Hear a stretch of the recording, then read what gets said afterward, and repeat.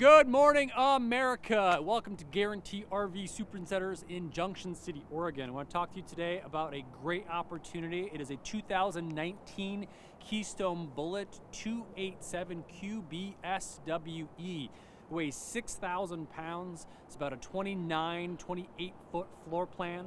So it's a great opportunity to get a lot of people inside with a bunk room, a completely separate room in the rear, and a lot of space in the interior. On the exterior, there's a ton of features, including an outdoor kitchen with an electric refrigerator, plus a stove top as well that connects directly to the liquid propane that's drawn directly off the tongue.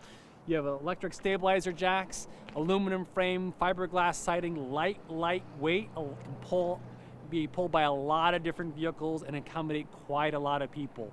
And the features of this that really set this apart are inside. So let's head inside and have a look. Right when you walk in the door, you can just really kind of appreciate the amount of space that this uh, trailer accommodates. Uh, on the other side of the media divider uh, that is your queen size bed. A lot of open space on either side of the bed. You have your hanging closets that are on either side too. There's also this great little feature that is a little flip up uh, laundry chute that goes straight into the uh, the pass through storage compartment. So just put a little uh, laundry basket down there, drop your dirty clothes down there, and they're out of the way. And still still storage underneath that bed too. Now, in the main compartment of the trailer, you have a really great peninsula countertop with a huge stainless steel farm sink, a three burner stove, as well as an oven, a big fridge, and uh, you have a, a vent hood as well as a microwave right up top.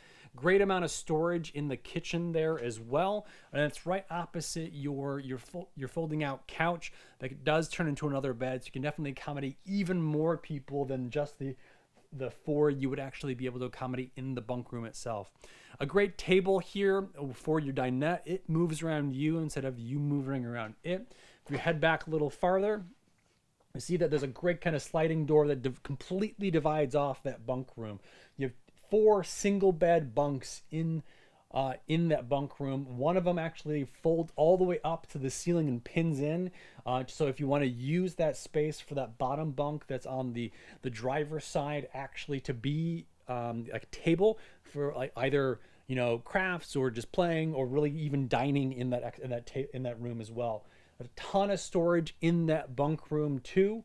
Um, there's cabinets, cabinets, cabinets, and right outside that bunk room, there's additional storage as well. Uh, in the bathroom, you still have your full vanity as well as linen storage and kind of bathroom storage there too. There's a, a, a tub in the shower as well. So that's making sure that if you bring anybody along that needs bath, they get the opportunity to take it.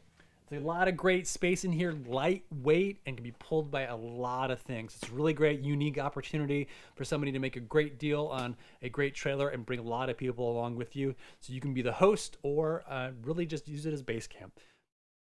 If you have any questions about this vehicle or any other vehicle we have on lot, stop on by and say hello or drop me a line 773 655 7190. And again, my name is Jake.